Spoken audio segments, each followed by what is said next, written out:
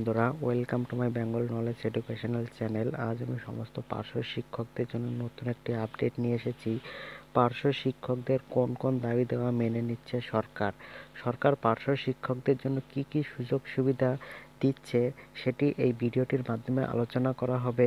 পার্শ্ব শিক্ষকদের বেতন কাঠামো পূরণ হলো নাকি পার্শ্ব শিক্ষকদের জন্য কনসোলেটেড পে বৃদ্ধি করা হলো? সেটিও এই ভিডিওটির মাধ্যমে আলোচনা করা হবে। তো বন্ধুরা, পার্শ্ব শিক্ষকেরা শিক্ষামন্ত্রীর সঙ্গে দীর্ঘদিন ধরে আলোচনা করেছেন এবং বিভিন্নবার পার্শ্ব শিক্ষকরা শিক্ষামন্ত্রীর সঙ্গে বৈঠক করেছেন এবং সেই বৈঠকে কি উঠে এসেছে এবং সরকার পার্শ্ব শিক্ষকদের কোন কোন দাবি দেওয়া মেনে নিচ্ছে এবং কবে মেনে নিচ্ছে, সমস্ত কিছু এই ভিডিওটির মাধ্যমে আলোচনা করা হবে। তো বন্ধুরা, আপনারা যদি এই চ্যানেলে নতুন হয়ে থাকেন, তাহলে অবশ্যই চ্যানেলটি সাবস্ক্রাইব করে দিয়ে পাশে থাকা বেল আইকনটিও ক্লিক করে দিবেন এবং অল অপশনে ক্লিক করে দিবেন যাতে এই ধরনের নতুন নতুন ভিডিওর আপডেট আপনারা সবার প্রথমে পেয়ে যেতে পারেন। এবং বন্ধুরা, আপনারা অবশ্যই ভিডিওটি শেষ পর্যন্ত দেখবেন এবং ভিডিওটিতে একটি লাইক দিয়ে সম্পূর্ণ ভিডিওটি অবশ্যই দেখতে থাকুন। তো চলুন বন্ধুরা, বিস্তারিত আপডেটটি জেনে নেওয়া যাক। তো বন্ধুরা পার্শ্ব শিক্ষকদের কোন কোন দাবি দেওয়া মেনে নিচ্ছে সরকার, সেই ব্যাপারে এই ভিডিওটি রয়েছে। তো বন্ধুরা, আমি আপনাদের সুবিধার জন্য ডেসক্রিপশন বক্সে এই নিউজটির লিংক দিয়ে রাখব। সেখানে ক্লিক করেও আপনারা দেখে নিতে পারেন। তো চলুন বন্ধুরা, বিস্তারিত জেনে নেওয়া যাক।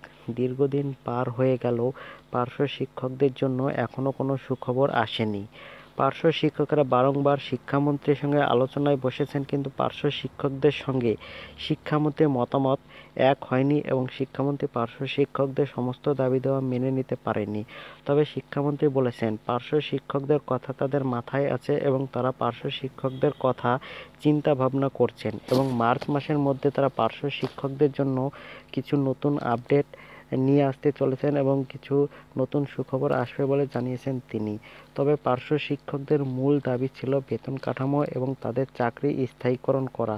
কিন্তু সরকার পার্শ্ব শিক্ষকদের চাকরি স্থায়ীকরণ করলেও তাদের বেতন কাঠামোর ব্যাপারে সরকারের সঙ্গে পার্শ্ব শিক্ষকদের একটু মতবিরোধ হয়ে যায় এবং সরকার পার্শ্ব শিক্ষকদের কনসুলেটেড পে বৃদ্ধি করতে চেয়েছে, যেখানে পার্শ্ব শিক্ষকরা সেই দাবি মেনে নেয়নি এবং পার্শ্ব শিক্ষকদের দাবি ছিল তাদের বেতন কাঠামো বৃদ্ধি করে তাদের অন্যান্য সুযোগ সুবিধা প্রদান করা।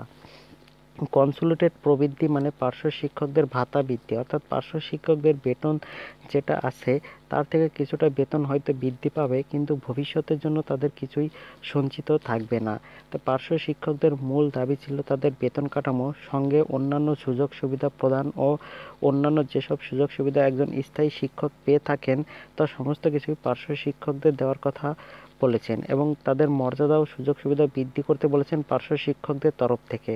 এখন দেখার বিষয়, সরকার পার্শ্ব শিক্ষকদের জন্য কি কি সুযোগ সুবিধা নিয়ে আসছে এবং পার্শ্ব শিক্ষকদের কোন কোন দাবি দেওয়া সরকার মেনে নিয়েছে? সেটি সরকারের ঘোষণার পরেই বিস্তারিতভাবে জানা যাবে, তবে পার্শ্ব শিক্ষকদের তরফ থেকে সরকারকে একত্রিশে মার্চ পর্যন্ত সময় দেওয়া হয়েছে এবং এর মধ্যেই পার্শ্ব শিক্ষকদের সমস্ত দাবি দেওয়া সরকারকে মেনে নিতে বলা হয়েছে। তো এখন দেখার বিষয়, সরকার কবে পার্শ্ব শিক্ষকদের দাবি দেওয়া মেনে নেয়?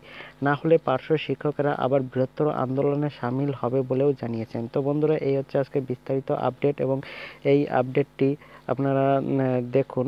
ছাব্বিশে ফেব্রুয়ারি দু হাজার কুড়ি প্রকাশিত হয়েছে এবং এটি যেখান থেকে প্রকাশিত হয়েছে আমি আপনাদের লিঙ্ক দিয়ে দেবো। সেখানে ক্লিক করে আপনারা বিস্তারিত আপডেটটি জেনে নিতে পারবেন। তো বন্ধুরা, ভিডিওটি কেমন লাগল অবশ্যই কমেন্টে জানাবেন এবং ভিডিওটি যদি ভালো লেগে থাকে তাহলে অবশ্যই একটি লাইক ও প্রচুর পরিমাণে শেয়ার করে সকলকে জানার সুযোগ করে দেবেন।